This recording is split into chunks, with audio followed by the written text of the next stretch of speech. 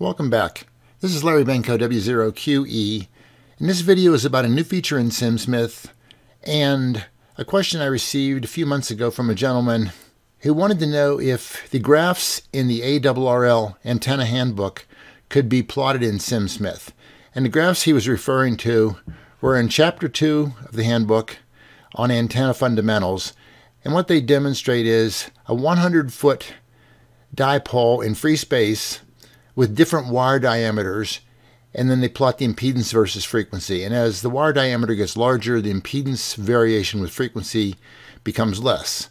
And this graph right here is just this is just a larger version of it over here. But what we see is the impedance range varies all over the place. Um, you know, clearly this antenna is a half-wave dipole somewhere. It's a one-wave dipole. It's various other links at other frequencies, but they plotted the frequency um, the impedance from 1 to 32 megahertz. And this is the graph you get. And I thought about it for a few minutes, and I did not think SimSmith could do this. I went and I asked Ward later, and he agreed with me. But as soon as I asked him, he also decided that maybe SimSmith ought to be able to do this, so he put this new feature in SimSmith. So this is a little bit of a story about that, and it's also kind of a humbling story because in along the way I learned something I never really knew that I didn't know before, and it's something that's kind of obvious. Here we have a SimSmith file that contains multiple circuits. The first circuit is the impedance of a 100 foot dipole in free space that is made with wire that's 0.01 inches in diameter, which is the same as 30 gauge wire. The second one is the same is the same dipole, but the wire diameter has been changed to 0.1 inch or 10 gauge wire. The next one is 1 inch diameter wire, and the last one is 10 inch diameter wire. And each of these we can look at simultaneously. The first one let's look at is the is the 30 gauge wire or the 0.01 inch diameter wire. And there's our impedance range. We get from I plotted these from 1.7 to 30 megahertz, not 1 to 32 like the ARRL did, but the graphs are extremely close. And the next one is the 10 gauge wire, the next one is the 1 inch diameter wire, and the next one is the 10 inch wire. They all look different, but yet they're all kind of the same. And there's not a lot you can determine. It's hard to believe that the 10, the, the orange one here, which is a 10, the uh, 10 inch diameter wire, is has a much lower impedance range than the other one. It doesn't really look like it on the Smith chart that much. I made a comment to uh, Ward, and he added this feature to SimSmith. It's really kind of nice. Let's go down and look at it. The SimSmith manual I'm looking at uh, is for this current version. And there's a new block at the end called Plotting on a Canvas. And there's the format right there. There are two canvases available, XY1 and XY2, and they have an x-axis, a y-axis, a center point, scale factors, um, and you'll get you'll see those just in a moment. But it's pretty easy to use. So if we take the plot window here, I declared a canvas to be XY1 and let's go over here and look. We, we access this through the square chart. So here's, here's the graph. From the square chart, we see that the, the x-axis is labeled R. There it is. It's a log format. We can see its log. It runs 1, 10, 100, 1,000, 10,000. Now this is the same range the ARRL antenna, antenna book did, but they had a different number of segments in between. So it does it the numbers aren't quite the same, but they, they, they really are the same, just this number of uh, divisions is different. Then I plotted five different things. I plotted, the first one is the blue one that's shown, which is a 0.01 inch diameter wire. The second one that's shown is the 0.1 inch diameter or 10 gauge wire, and it's got a it's got a, um, a marker on it just to show where um, 14 megahertz was. The third one is a 1 inch diameter wire, the last one is a 10 inch diameter wire. And from these, with the same scale factor, we see that the um, the orange one, which is the 10 inch diameter wire, really has a much narrower narrower range of impedances than the one that was with the 30 gauge wire or the 0.01 inch wire. And if we, just to show that this really did work nicely, let's bring that other graph back here and compare the two. They show a mark at 9 megahertz here. Let's go up to 9 megahertz. That's pretty close. It's right about at the same place. Down here at 10 megahertz, it's about the same place.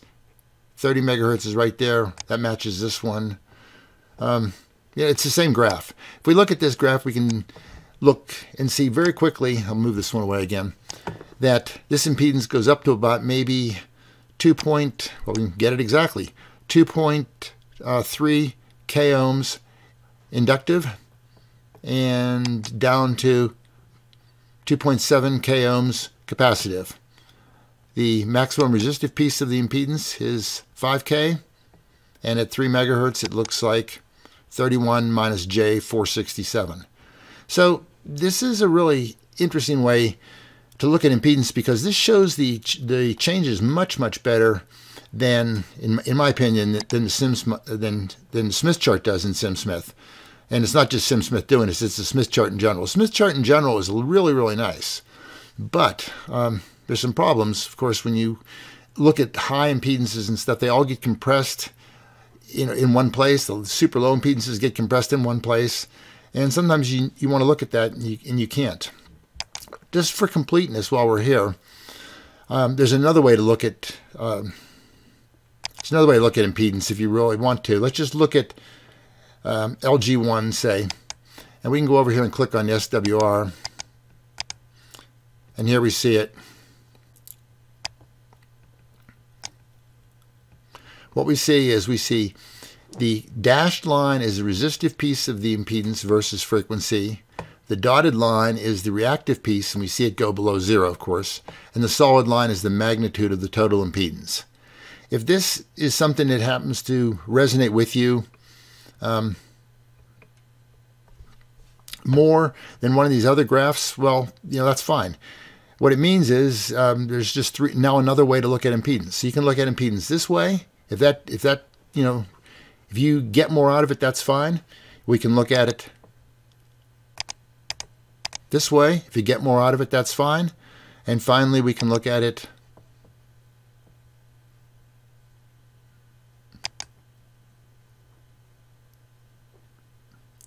Let me close this other one off. We can look at it like, like that, if that tells you more. One of the really useful features of the Smith chart is to show SWR. SWRs that are constant plot as circles on a Smith chart. Here I've built a little circuit that the SWR sets the resistance value here, lossless piece of transmission line. I made it 48 feet long, velocity factor 1, loss of 0. It turns out 10, 10.245 megahertz is 48 feet for a half wavelength. And I can change SWR. We can see the See the plot move, move around. And we notice that for every six feet of transmission line length, we rotate the same amount around the Smith chart.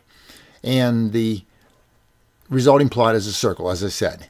Now let's look at what happens if I plot this on a linear XY plot. Let's go over here for a moment. I'm going to plot it just like I plotted before, except the log, the scale on the x-axis will not be log. It'll be linear and the y-axis will be linear also. I'll go over here and I'll plot it.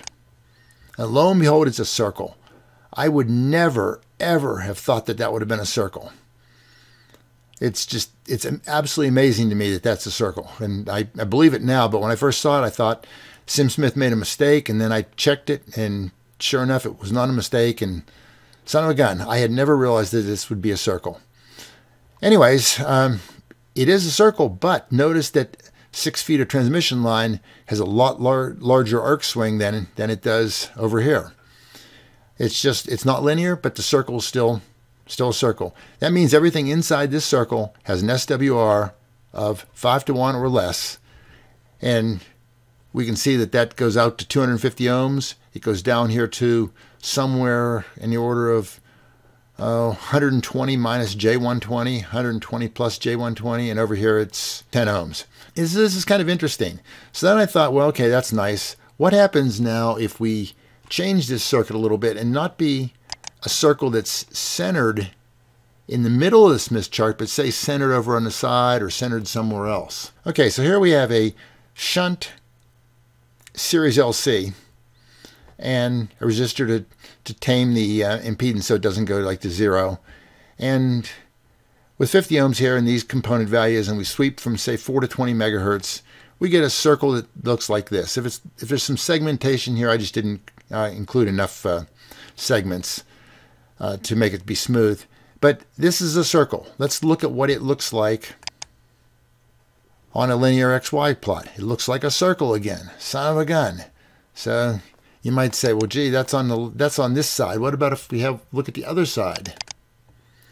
Here we have a circle on this side of the Smith chart. I plot it, yet a circle again.